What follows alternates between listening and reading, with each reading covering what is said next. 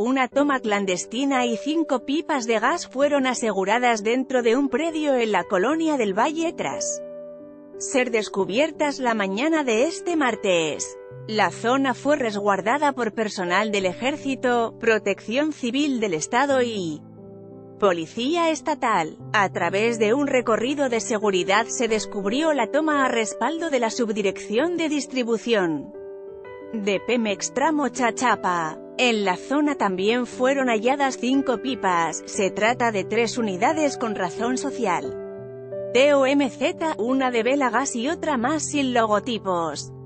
El personal de seguridad está a la espera de que se realice un cateo al interior del predio para poder decomisar los vehículos, en tanto mantiene vigilada la toma en la que se aprecia como por debajo del predio bardeado sale una manguera hacia la calle sitio en el que robaban el hidrocarburo.